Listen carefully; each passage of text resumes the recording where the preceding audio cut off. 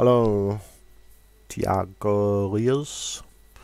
Let's uh, let's try and do this. Um,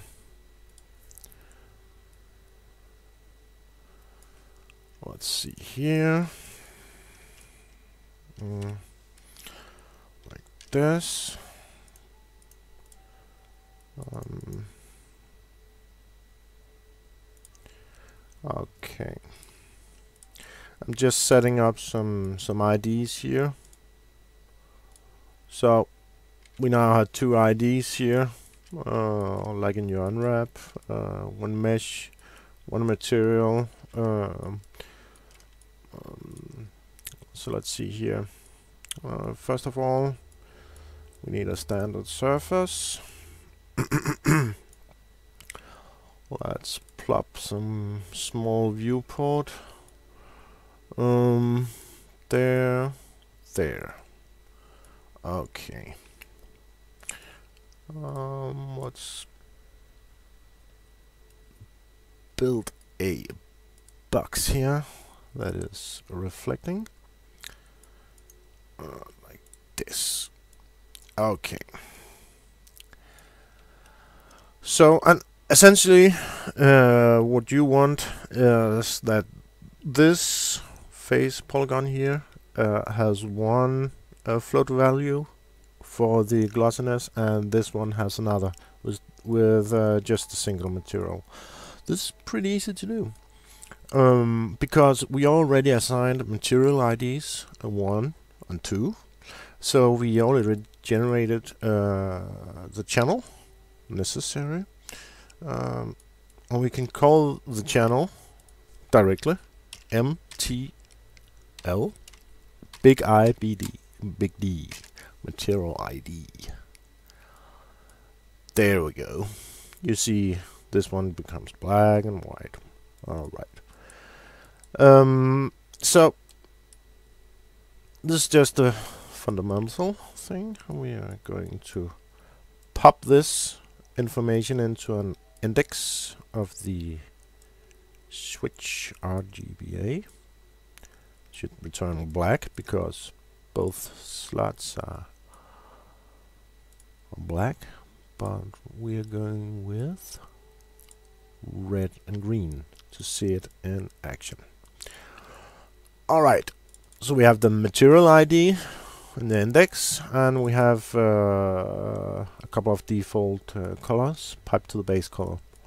Um, so we established some kind of uh, differentiation let's um let's uh, hook up to the um, to the roughness.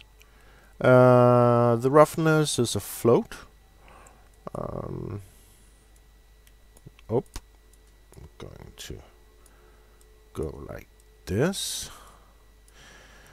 So we're sourcing the material ID to switch RGBA and uh, just for safe measures we're going to convert it to a float grayscale and make sure it's a um, uh, it's a float entering the shader. Alright um so um we'll just reset these two guys. I don't know if you noticed but reflection clear up here. Um, and we want a float. So this float is zero. We pipe this one to the first index. And we copy it out and pipe it to the second. So uh, this is now our shader. Um, we build one for, for visual.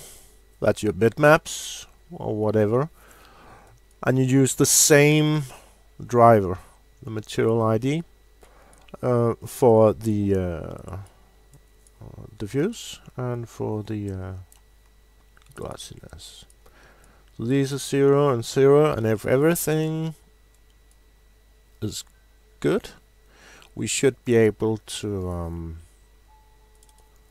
to pop this one. And as you can see it's more glass here than over here. And if we pick the other one there.